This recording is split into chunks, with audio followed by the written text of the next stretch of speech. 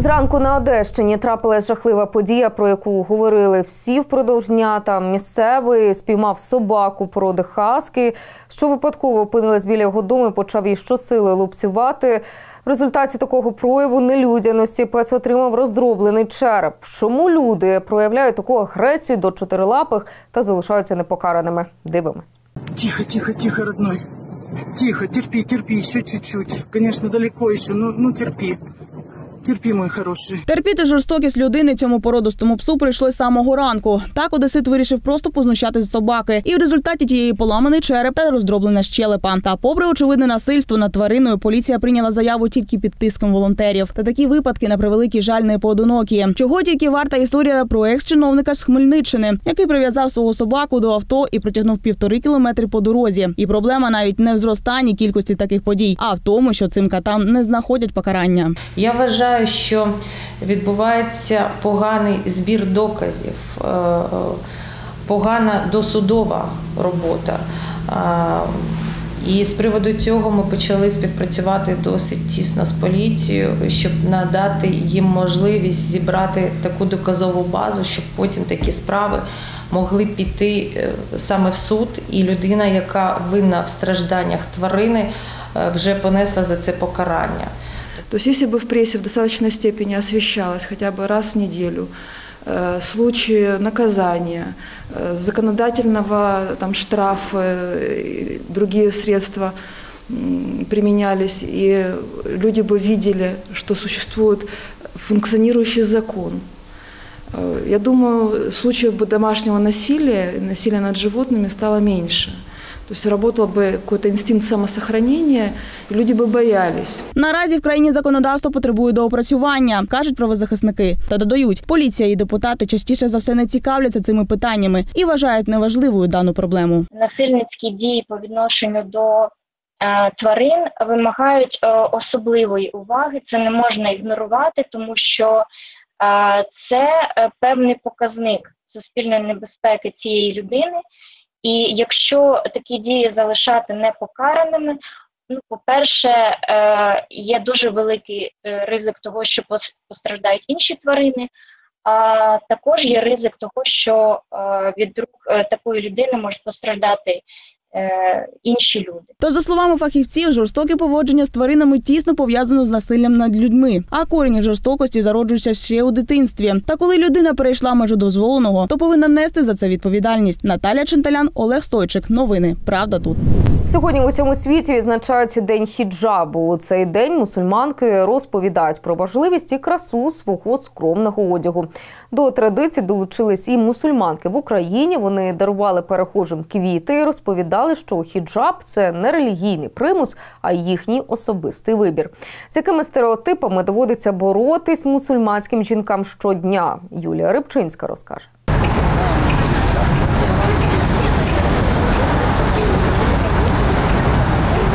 Сьогодні на засніженому хрещатику українські мусульманки дарують усім жінкам квіти. Акцію приурочили до міжнародного дня хіджабу. Жінки переконують, хіджаб їх не пригнічує і не заважає бути повноцінними членами суспільства. Ми роздаємо квіти, щоб нагадати жінкам про жіночність, про скромність і показати, що хіджаб це не щось е, незрозуміле, не щось, що може пригнічувати жінку, а навпаки, те, що робить її краще.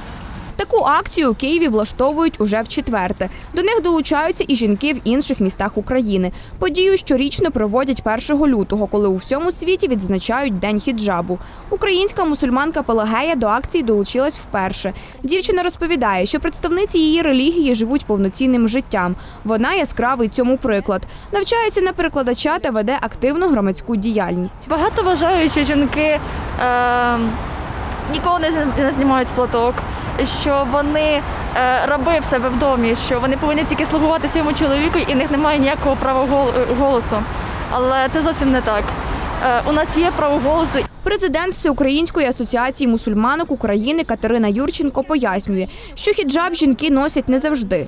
Наприклад, вдома, коли поруч тільки близькі люди, вони ходять без головного убору у звичайних штанах та футболці. Коли ж виходять на вулицю, то одягаються так, щоб було видно тільки обличчя та зап'ястя рук, аби уникнути зайвих поглядів. Проте це їм не шкодить. Насправді мусульманка це е, такий же член суспільства, як і інші. Ми ведемо активну соціальну діяльність, зокрема і наша організація. І то мусульманкою це означає себе шанувати і одягати хустину. Це також означає себе шанувати.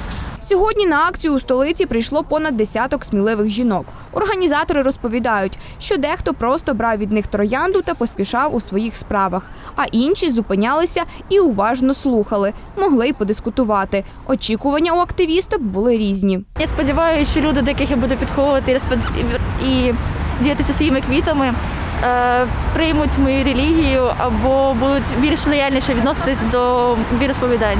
Незважаючи на стереотипи, які все ще існують в суспільстві щодо мусульманок, більшість людей готові проявляти толерантність і розуміння до будь-якого віросповідання. Жінки, які проходили повз та стали свідками акції, запевняють, що мусульманок розуміють і домашніми рабинями точно не вважають. Я думаю, це їх вибір, свобода вибору. Ну, я думаю, вони самі вибирали. Людина є людиною, її формує її оточення, її виховання. Е, Неважливо, де вона народилася, в яких умовах вона росте, живе, е, працює і так далі. Людина має залишатись людиною. У нас е, толерантні люди. Ну тому що я не зустрічала ніде в інформа- інформаційному просторі, що якось ставляться неповажно до цієї релігії, до цих жінок. Представниці всеукраїнської організації мусульманок додають, що у хіджабі можна мати стильний вигляд. Саме тому активістки нерідко проводять майстер-класи із зав'язування головного убору. А повчитись цьому може кожна охоча, аби спробувати відчути новий рівень чистоти та духовності. Юлія Рибчинська, Олег Стойчик. Новини Правда тут. Історія українського будівництва у деталях у Києві планують відкрити сучасний музейний простір на архітектурну тематику. В експозиції представлять колекцію будівельних інструментів, що використовувались наприкінці 19 століття, мапи міста, плани та інші раритетні речі. Відчинити свої двері музей планує восени цього року. Про те, як відбувається підготовка та збір експонатів, дізнавались наші журналісти.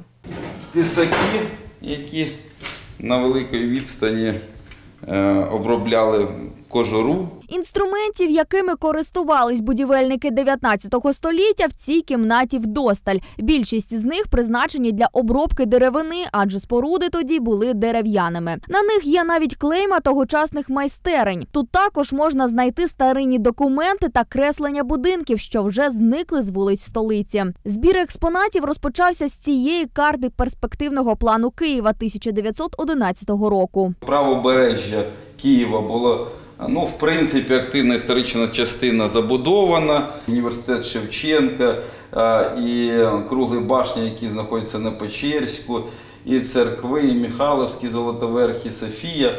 Багато-багато об'єктів. А ось цей сундук є переносним столом архітектора. З ним працівник виїжджав на майданчик і вносив правки прямо посеред будівельних робіт. Розкладається такий прилад до півтора метри завдовжки. Ця кімната лише перший прихисток для експонатів. Скоро раритетних речей стане більше і їх перевезуть до нового приміщення. Ініціатори проекту запевняють, це буде сучасний музейний простір з інтерактивними технологіями. Перша інтерактивна дошка буде будуть записані історичні фрагменти для просмотру в 3D-візуалізації. Тобто музей буде поєднувати і сучасне, і минуле для популяризації великої професії будівельника. Відвідати кабінет архітектора 19 століття також буде можна у музеї. Його планують відобразити з урахуванням усіх деталей. Наразі триває конкурс на найкращий логотип майбутнього музею. Переможець, який створить візитну картку експозиції, отримає 10 тисяч гривень. Відкрити музей планують восени цього року. Ініціатори хочуть, щоб музей став національним. А відвідувачі не тільки дізнавались цікаві факти про те, як будували Київ, а й підіймали свій рівень освіченості про будівельні професії в Україні. Тетяна Остролуцька, Дмитро Буднюк. Новини Правда тут. Від сьогодні в Кропивницькому скоротять кількість рейсів комунального транспорту у вечірній час. Причина низький пасажиропотік і нерентабельність перевезень. Через карантинні обмеження людей в автобусах і тролейбусах стали возити вдвічі менше ніж до пандемії. Через це підприємство-перевізник працює у збиток. Відтак змушені економити на пальному та електроенергії. У міській раді попередили за скороченим графіком комунальний транспорт курсуватиме до кінця карантину. Водночас чимало містян таким рішенням обурені, оскільки маршрутки ввечері часто їздять із перебоями, побоюються, що ходити доведеться пішки. А дістатись додому на таксі для багатьох не по кишені. Був локдаун, до цього був карантин. Надходження з початку року до міського бюджету, на жаль, є дуже малими. І утримувати таке велике підприємство в тих самих об'ємах, виконувати пасажирські перевезення ну це просто неможливо. Ні один закон економіки це не дозволить робити. У М'янмі, що на південному сході Азії, стався військовий переворот. Головних чиновників країни разом з президентом відправили під арешт. Як повідомляють самі військові, це був вимушений крок через фальсифікацію виборів. В країні вже оголосили надзвичайний стан, фактично відрізавши від світу місцевих, адже відтепер там не працює телефонний зв'язок, інтернет, а телебачення припинили ефір. Більше подробиць далі. М'янмі опинилося під повним контролем солдатів. У цьому причина військовий переворот, що стався напередодні. Передували цьому останні вибори. Після оголошення офіційних результатів стало відомо, що перемогла правляча партія. Військові почали звинувачувати владу у фальсифікації виборів. Комісія щоразу відкидала їх звинувачення. Однак військові пообіцяли вжити заходів. В результаті під час першого засідання нового складу парламенту в понеділок вранці військові заарештували високопосадовців, лідерку країни Аунг Сан Суджи, а також президента У Вінм'їна. Після Після чого тимчасово державну владу передали до рук головнокомандувача збройних сил. Нове правління оголосило про введення надзвичайного стану в країні на цілий рік. Вулиці знаходяться повністю під контролем патрульних солдатів. А ось люди фактично залишилися відрізаними від світу, адже телефонний зв'язок та інтернет перестали працювати, а телеканали припинили свої ефіри. Тим часом реакції світової спільноти довго чекати не довелося. Генеральний секретар ООН засудив арешт політичних лідерів та закликав обговорити питання у формі діалогу. Ці події представляють серйозний удар по демократичних реформах. Усі лідери повинні діяти в більших інтересах демократичної реформи М'янми, беручи участь у змістовному діалозі, утримуючись від насильства та повністю поважаючи права людини та основні свободи. Відреагували на останні події і в США. В адміністрації президента Джо Байдена оприлюднили заяву, де закликали військових негайно звільнити всіх заарештованих, та пообіцяли вжити заходів проти тих, хто намагається змінити результати виборів. Сполучені Штати стривожені повідомленнями про те, що бірманські військові вжили заходів для подолання демократичного переходу в країні. Ми продовжуємо підтверджувати свою рішучу підтримку демократичних інституцій Бірми та за координації з нашими регіональними партнерами закликаємо військові та всі інші партії дотримуватись демократичних норм та верховенства права та звільняти затриманих сьогодні. Сполучені Штати виступають проти будь-яких спроб змінити результати нещодавних виборів або перешкодити демократичному переходу м'янами і вживатимуть заходів проти винних, якщо ці кроки не будуть скасовані. Тим часом в МЗС України наголошують не планувати жодних поїздок до країни через зведення там надзвичайного стану. Перший день лютого сьогодні справді показав всю свою велич, що притаманна назві цього місяця. Початок останнього зимового етапу розпочався з рясних снігопадів на території України. Самого ранку засипало Чернівецьку, Вінницьку, Київську, Кіровоградську, Черкаську, Одеську, Полтавську, Харківську, Дніпропетровську та Луганську області. Лише протягом ночі в цих регіонах випало близько 5 сантиметрів снігу. За прогнозами Укргідрометцентру, в зв'язку зі снігопадами і хуртовинами, високогір'ї Івано-Франківської, Закарпатської областей утримується третій рівень небезпеки. Ось у більшості північних і центральних областей, зокрема Харківський, Одеський, Миколаївський, прогнозують снігові опади до 10 сантиметрів. Врешті областей ожеледицю та пориви вітру до 20 метрів на секунду. Тим часом через неходу на Одещині знеструмило 11 населених пунктів. Відключення сталося через падіння опор ліній електропередач.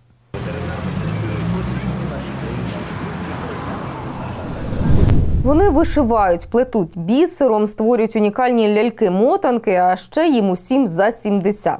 У Вінницькому територіальному центрі соціального обслуговування неабиякої популярності набуло заняття з рукоділля. Попри свій вік, бабусі вправно тримають в руках голку з ниткою, а вже за декілька годин з цього виходять справжні шедеври. На такому майстер-класі з рукоділля побувала наша знімальна група, тож більше розкажемо далі. Вовнутрь, чтобы оно ничего не трепалось, и трубочкой сматываем. Ну, лучше прихватить. Я клеем прихватываю кто это. А потом вот так сгибаете пополам и к вот этой головке приматываете. Ось так пані Ніна наглядно демонструє своїм ученицям, як працювати з тканиною та з чого розпочинати роботу. Сьогодні у Вінницькому територіальному центрі соціального обслуговування навчають, як з допомогою підручних матеріалів створити справжню красу. Ось такі унікальні ляльки-мотанки. Какие эмоции вызывают эти куколки? Они вызывают действительно, как она называется, кукла радости, она и вызывает эмоцию радости.